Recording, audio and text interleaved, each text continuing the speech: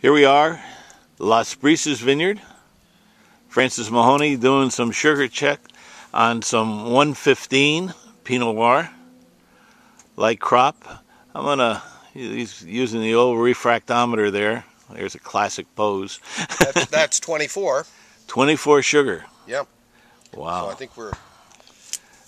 Get your cutting knife out, Peter. It's time to do. It looks good. There's, uh, as you can see along here, the, the crop I think is uh, light. And I just want to bring you into another uh, uh, phenomena. You can just see the uh, Petaluma Gap fog over there just receding on this morning. Gonna have to get a tripod. I'm holding this thing so. All right, Pretty this nice is morning out here. beautiful morning.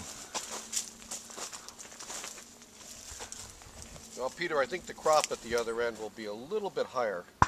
This is a real light crop, and uh, Yeah, th- this is this is running two tons an acre.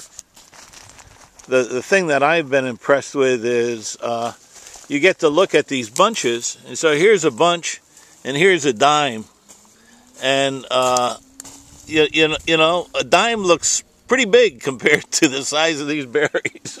Yeah. No, this is uh, definitely, uh, this is probably one of the lighter parts of the vineyard.